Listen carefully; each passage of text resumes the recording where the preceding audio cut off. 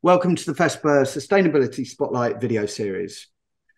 We all understand that sustainability is uh, future, the future of business success and drives um, us in reducing negative environmental and societal impact that's essential to our communities. We're providing information with the help of our guest speakers. Thank you, Steve. Uh, that will support environmental best practice to enable you to make more progress on your journey.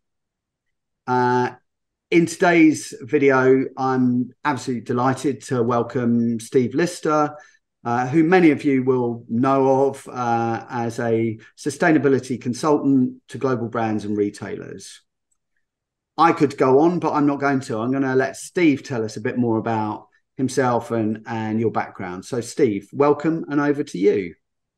Brilliant. Thank you, Graham, and thank you for giving the opportunity to participate um, today. Um, yeah, um, if you don't know me, um, I've been in sustainability for about 16, 17 years. I currently run um, a global uh, sustainability consultancy called stevelister.com, and we offer uh, uh, sustainable services um, back to global brands and retailers. Yeah, um, I'm. I'm also, and we'll we'll discuss that a little bit further. But I'm also head of sustainability for POPAI, the Point of Purchase Association, uh, of which I do that on a voluntary role and have done that for uh, nearly 10 years. So we work with many of the global brands and retailers who are um, looking at sustainability and helping to try and navigate their way through some of the biggest challenges that they're facing at the moment. And um, I've been very lucky over the last like few weeks. I've just been announced as uh, one of the retail tech uh, influencers influencers for 2023, and also Rethink Retailers uh, just announced that I'm one of their top retail influencers also for 2023. So the last 17 years of hard work focusing on sustainability has finally paid off. Nice. It's good to. It's nice to have an accolade when you um, when you're dedicated to the cause, isn't it? That's it great. It is. Yeah. Okay, so in um, our discussion today, we're going to focus on circular design thinking um, and the importance of creating a circular design process. So I think there's I've got a few kind of areas that I'd like to get into with you, Steve, and and maybe we can maybe we can kick off by establishing a, a definition of what what we mean by circular design thinking. Yeah, and, and that's a good place to start because one thing we've I see all the time, Graham, is, is people have slight different definitions and um, sometimes it's quite confusing and, and hopefully I can uh, you know help us like you know through those sort of like terminologies and navig- navigation so if we just go back to where we were a few years ago and actually unfortunately in some countries we're still there um, so if you've never heard of the terminology uh, a linear model and, and, and, what i mean by that is is i'll, I'll explain it is um, we used to take minerals or take materials, take trees, turn them into paper, or you'd take uh, other different minerals, turn them into plastics or or, or, or metals and glass, etc. So we would take it, we would make it, and then once we used it, we didn't really have a lot to do with it, really, because recycling mechanisms weren't there.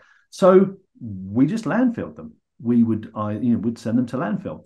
So it was that linear process of taking something, making something, and then basically throwing it away.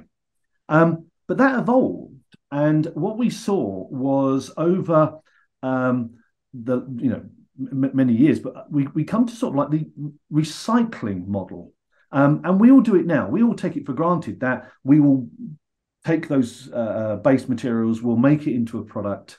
Um, and then we have mechanisms where we will recycle it. And now it's well established. Hey, look, we all recycle at home now. I mean, how many bins do we have? We've got brown bins, we've got blue bins, we've got black bins, we've got food waste bins. So it's embedded now in our sort of like in our societies. And it's also actually embedded to a certain extent in industrial commercial elements, and we can touch on that later. So we now we then had a route of making something, launching it, putting it out into the marketplace, and then collecting it and recycling it as much as we can. We've been doing it with bottles and cans and glass for many, many years. And there's a bit of waste. So what really now, uh, Graham, people are talking about is moving towards the circular model.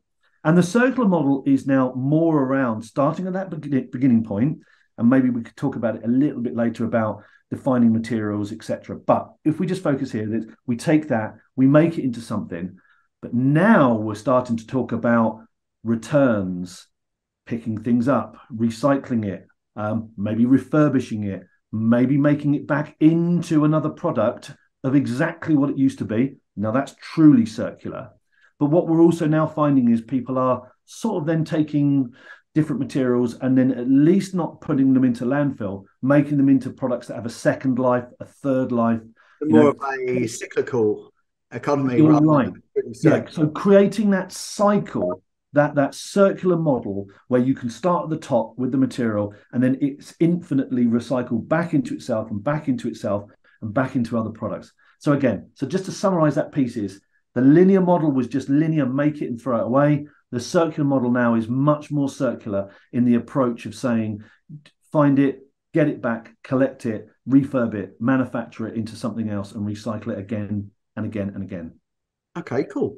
So when we think about print and packaging, um, can you give us your explanation as to what we need to consider to be a good circular design process and, and kind of what it looks like?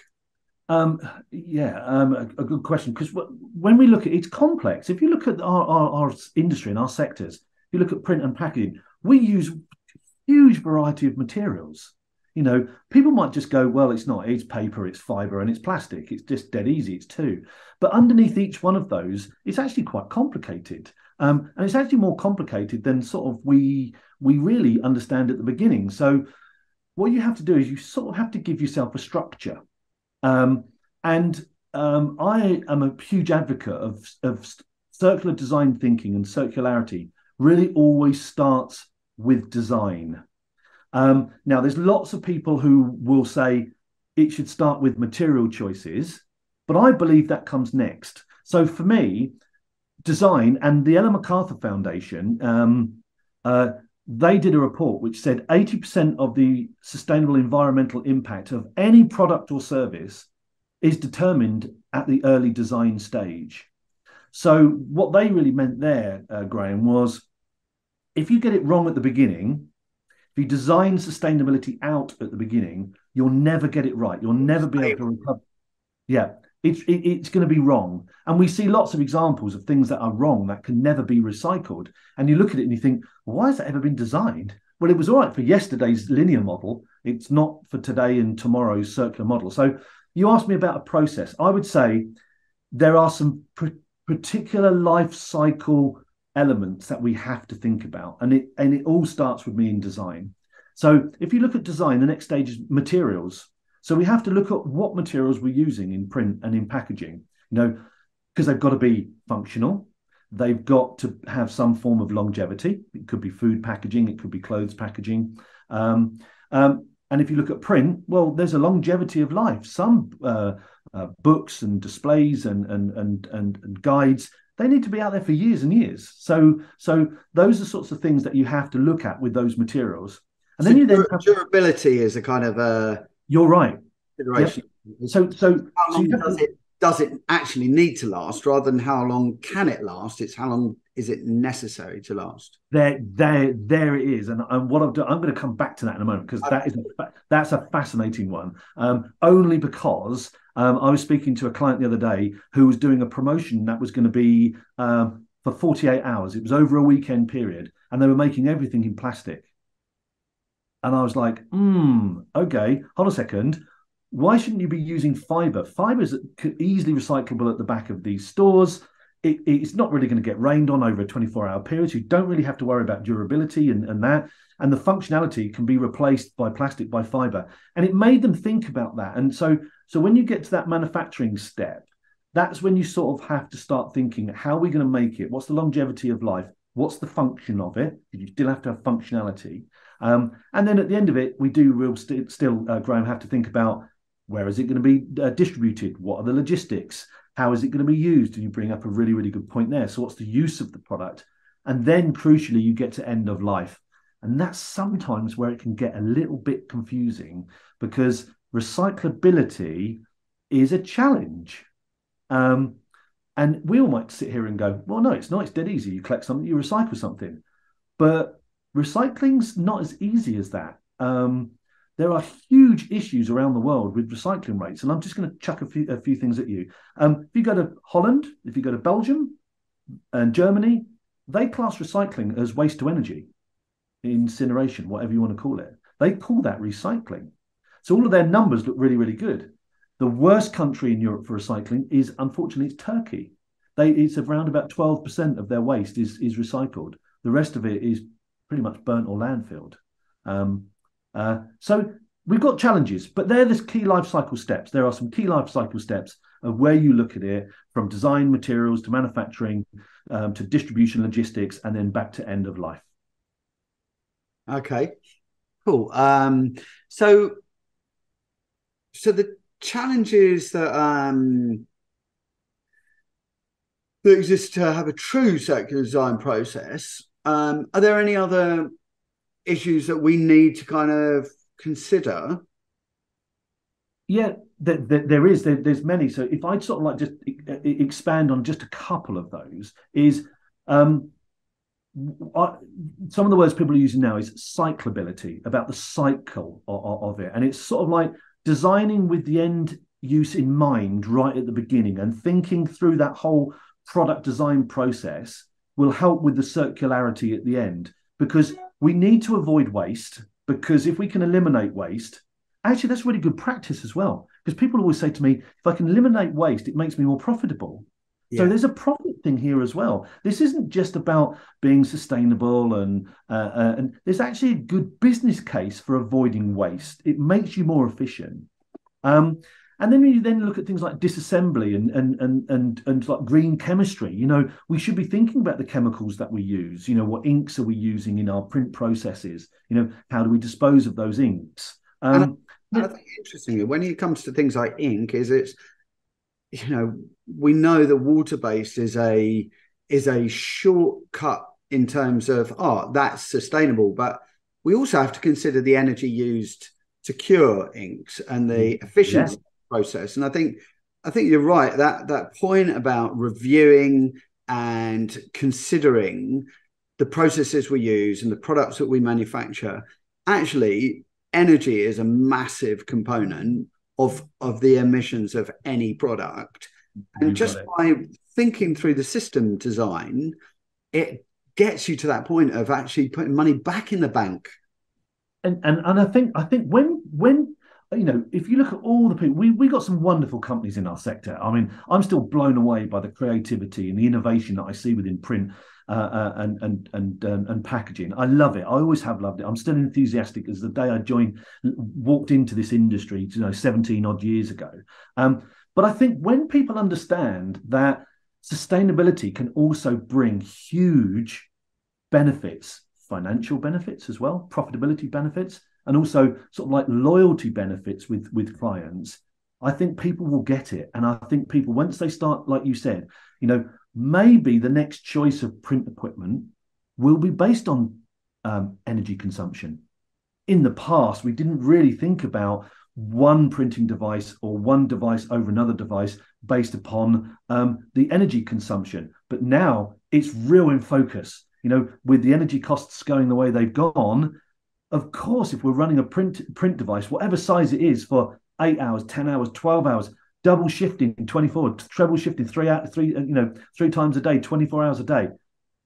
Think of what what the costs are going to be. So those considerations are going to be made. If they're not being made already i am sure if you're a business owner you must be looking at any cons- energy consumptions of of one unit against another unit. If you're not i think people st- should start to do that. And the same with inks. You know we've seen some great developments in uh, vegetable based inks and latex based inks. You know the market's changed over those years graham. Hey look you must have seen that you know you know with these new developments and and low energy curing you know and and vegan inks. And that will be continue to the the, the big print um, uh, companies will continue to innovate. And i think they will continue to innovate based on sustainable uh, sort of like uh, you know benefits. So okay so we've kind of we know that this is coming. We know the principle of the polluter pays is is coming. We know that legislation is likely to follow. So there is there is going to be a punitive impact if yeah. if we don't get our heads in the game, if we don't start. So I think our viewers would would really value getting an understanding from you as to where to start in terms you know you said that design is the yeah the the first creation is the point at which you can determine the the full life cycle of a product so can you talk to us a bit about getting started yeah i, mean for, for, for me i would actually say to people do you have a sustainable design process when you start right at the beginning? Is sustainability actually one of the metrics you use right at the beginning? Now, of course, loads of people are going to turn around and go, well, if the client doesn't demand it, we're not going to, you know, uh, we're just going to continue what we're doing. And actually, I think that should be the opposite. I think you should be embedding it right now because then the customer will go, wow, you're thinking this right up front. So I would look at it and go, be take it as a commercial advantage over a competitor. Why shouldn't you have a really robust, open, transparent design process where you can sit down with a client and say, right, this is how we make material choices. Okay, we select um, low impact materials. Um, for, um, might have pre and um, post consumer waste in it. It still could be plastic, still could be fiber. Um, could you imagine saying in front of a customer, um, and we've started to look at the CO2 impact of each of these materials um, and production, all of a sudden you're speaking the client's language. They're all under all these big global brands and retailers are all under you know huge pressure to lower their CO2. You know, so if you could go to them and say, I can print on this material and I can print on this, and basically this has a higher CO2 than this one, all of a sudden you're answering a lot of questions and a lot of challenges that retailer has uh, or that brand has. So, you know, I, I, can't sort of say to you know go on about it too much is have a really good robust design strategy. Be passionate about it. Understand those materials. There is some incredible material suppliers out there you know. Challenge them. Ask them what they've got see those materials coming in and then start working out how you can create that process where when you go back to the back back to your your clients and if you're pitching for new business you can start a conversation which maybe they've never had before but one thing I will say is yeah. I, I'm a sustainable realist. I understand that all the businesses that will be listening to this have to balance their, their, their the cost versus quality and functionality fun- here. I get that. I understand that if you're going to go to a client and say, I've got a sustainable option that's 20% more, commercially, a lot of people are going to go, I can't sell that, Steve. You know, I won't be able to put my prices up by that much. And that's where the challenge then lies is can you find materials that are at a price parity? Can you manufacture them in a different way? Can you design waste out of it which makes you more profitable which means you might be able to balance the, the some of these materials out? So i hope that answers your question it, but for me it's it, about it, that design part it does um and i think yeah it is about taking a, a deeper look and and actually one of the things that just sprung to my mind is of course we're now seeing um, management information systems for quoting and estimating with carbon footprint calculating calculation built in. Absolutely. If, if you can, uh, and to part of your what materials you select and how you represent the value of that material. So I can't remember the the average kind of uh, ratio of scope three emissions in terms of businesses overall carbon footprint i think it's like 70 80% isn't it oh, like... i think you're i think you're right I, look i'm sure there's some life cycle analysis people and some sustainable consultants out there who, who deal in just carbon who would probably say oh no it's 72.4 but you're about right it's about 70 80% of, of, of all of that sits in scope 3 which is suppliers which is us which yeah. is the print industry, which is the packaging industry. So, could you imagine, Graham, your biggest client coming to you next week and going, Right. Can you give me your carbon disclosure uh, uh, certificate with uh, and that you've measured measured all of your scope one, scope two carbon emissions, please? And can you can I have it this afternoon? Because because they need to report on it. I, I I think there would be collective panic within our sector if some of the brands and retailers started to ask for carbon footprinting. But I want to I want to come back quickly to what you've just said because you bring up you you bring up a great point there, Graham. Is I've seen some fantastic sustainable pieces of technology where people are embedded in, into the MIS systems, the management information systems, where people are starting to now, at quote level, At quoting level, people are now starting to have an automated CO2 analysis of, of what they're doing. Now, that's a game changer. That's when all of a sudden sustainability is at quote level, and that's the initial conversation, and that's where it should start. So I think we're going to see a lot more of this being introduced, and I know uh, there are a few companies that are doing it at the moment. You know, and I've got to say, I think if people haven't got an MIS system that has CO2 uh, uh, measurement embedded into it, I think they better get it pretty quick, to be honest. Yeah, yeah. There's there's there's great opportunity, and there's and it's about value, isn't it? It's about yeah. if I can say to you that this product B has 50% lower emissions than product A, even if product B is a bit more expensive, it may just be that the reduction in CO2 emissions is sufficiently interesting yes. to move the conversation away from well i won't pay for it. But but if you can't explain it you can't present it as a as value can you? And that's that's i think where and, where and, the, the kind of real the the really interesting development of of of integrated uh, footprinting presents this uh, this great chance and, for people. And then and then to link that back to to what we're talking about today is then all of a sudden brands and retailers and people could start to see the, the CO2 decrease when it comes to circularity and circular materials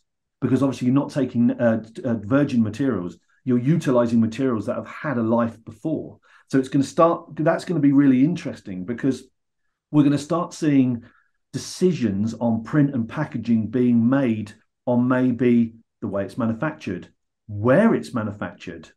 You know, will start will people start making decisions about uh, uh, their purchases being in country rather than oh I can make something cheap abroad. I can go to I don't know South America. I can go to Eastern Europe. I can go to China. Maybe the CO two footprint is going to be too big to be going there anymore, and maybe that will force people to come and have their production in country.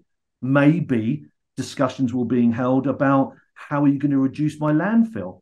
How are you going to increase recycling rates? I want you to create a circular design uh, process for the materials I'm purchasing from you. Uh, these are all questions that are already being asked, Graham, by these global brands and retailers. And I think the industry, there are some pioneers out there, but I think the industry is going to have to accelerate themselves into this circular thinking and, and thinking around utilizing materials a bit better. And I suppose it, it all in all, it just points to the fact that we have long considered our economic performance as being our only priority, whereas now we're saying now consumers are pushing brands to say, okay, so that's great that you produce this lovely product, but where are you producing it? How are you producing it? And what's what are the what are the impacts that you're not telling me? That kind yeah. of consideration is is behind all of this, isn't it? And, it, yeah, it, is. And and uh, and I've been saying this on a, on a couple of other uh, um, uh, interviews I've been doing and some white papers. Is people always say to me, "So what is 2023, uh, Steve? If, if if you're one of these influencers and you're future looking, you know what is it?" And I'm like, transparency. 2023, 24 is going to be the years of transparency. And what I mean by that is we're going to have to be very open and very honest about the materials where they're coming from. I mean, I've even started hearing, hearing from some brands that are starting to say, I want to know the GPS coordinates of the forest that the fiber came from. And, yeah. and that's going to fundamentally change the conversation around the paper, the paper mills, you know, all of the materials that we currently use. You know, paper mills and paper companies have been doing this for, for many, many years through accreditations like FSC. Yeah. What about the plastics industry? The plastic industry has never mapped where the chemicals come from, where the plastic's being made, where all the polymers are being shipped from.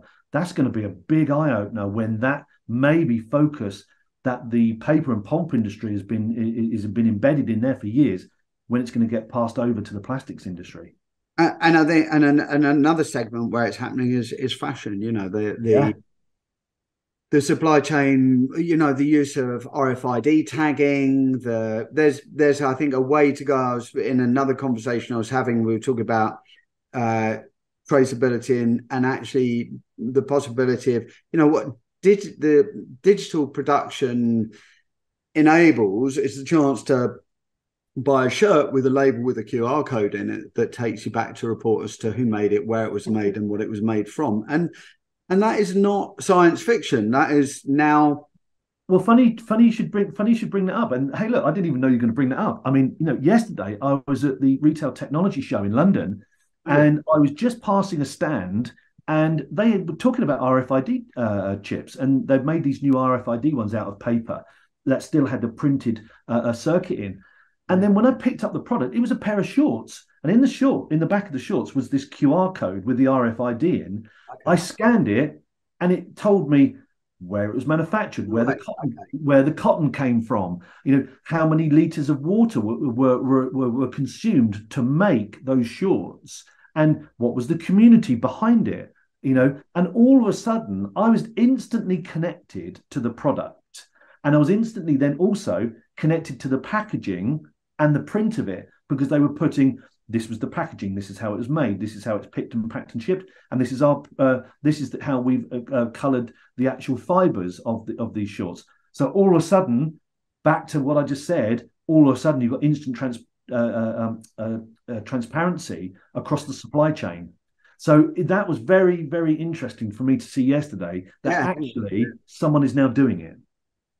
And and it has so many other benefits attached to you know RFID if you can track your um for logistics you know you know if you can the scanning in and out of um of hubs if you can do it contactless without yes. you know it is absolutely going to be everywhere and, and it's why i think rfid is being has been developed in you know with gravure printing with very very high volume print production methodology and very very low cost because fundamentally it's going to be on almost everything. It, it, it, will do. And what was very interesting the other day i even saw the other day rfid with uh, uh, barcodes on the same label. So it had it had a barcode for, scanning to pay for it. And then next to it was uh, was the qr code and rfid for all of the transparency. So all of a sudden it's all going to be encapsulated into one maybe you know one piece of technology then like you said you've got transparency you've got stock you've got logistics you've got also counterfeiting. So you can start to work out whether something is a genuine product or not. Then then who's bought it? How many owners of those shorts had? If they, it then gets moved on to someone else. Then it, it, it, it I've got to say sustainability is at we the heart not even get started on blockchain should we at this point? No. Should we leave that one to another day uh, another time? If um so, if you have a, a couple of final thoughts and key takeaways, uh, what would they be in summary, briefly? Um, just briefly, for me, I, have I've been banging on about this, but I just say it's about collaboration. You know, do you know what? Individually, we can't do this. You know, um, so so the first thing I would say is um, please, please collaborate with all of your different stakeholders and supply chain partners because they're all wanting to do it but I, in isolation, it's going to be very, very difficult. So I would say collaboration is the key. And then the second uh, part of that would be um, communicating it. How do you communicating it? How, how, do you communicate it? And I just want to give a just a final thought. Um, so David Attenborough said, um, "Saving our planet is now a communications challenge." And he and, and and and I totally agree with it because we've got the scientists, we've got the data, we've got a lot of technologies, but it's how we then communicate all of that. So for me, my final thought would be collaboration is key, and how we communicate it is also the way we're going to connect it, not just with consumers, but how we can communicate it effortlessly as well. Perfect. All right. Thank you very much. What a great um what a great discussion. I've really enjoyed this. Um, so that's uh, that concludes this uh, video, and you know, Steve, thank you so much. I'm looking forward to our next conversation. Um, but in the meantime, if you're if you're managing to get to Munich to the the FESPA Global Print Expo, uh, there will be the sustainability spotlight um, displayed there. That's going to have useful information on the the processes and thinking in sustainability, and also we have a a feature of all sorts of new uh, materials that are more sustainable than the established um, materials that we've been used to. So uh, come and take a look if you're if you're at the show. Uh, if not, please um, come and have a look at fespa.com where there'll be lots of videos, uh, blogs, and podcasts from a host of interesting people that will allow you to, you know, become more aware and and get your get your um, programs going if uh, if you're yet to begin, or hopefully if you're already in it, we'll give you some useful pointers on the way. So, you know, our mission to reduce, reuse, and recycle is ongoing. Um, let's uh, let's get involved. So, thank you very much indeed. Cheers.